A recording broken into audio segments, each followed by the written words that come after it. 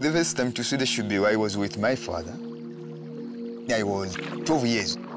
My father said, Oh, have you heard about the Ipumambao? I said, Yes, I heard the name, but I haven't seen it.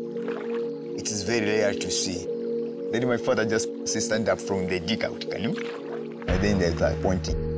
I never see a bird like this.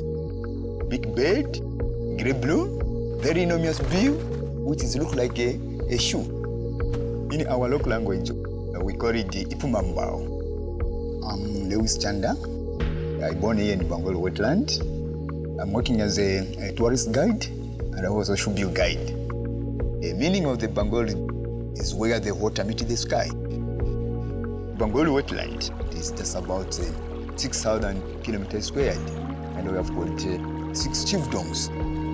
The people who are living here, mostly they are fishermen. Most tourists who come here, they come for Shoebill.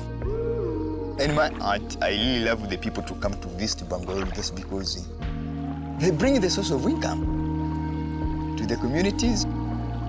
I want Shoebill to be protected. In the future, we can even maybe multiply the number if the, the bird has been protected.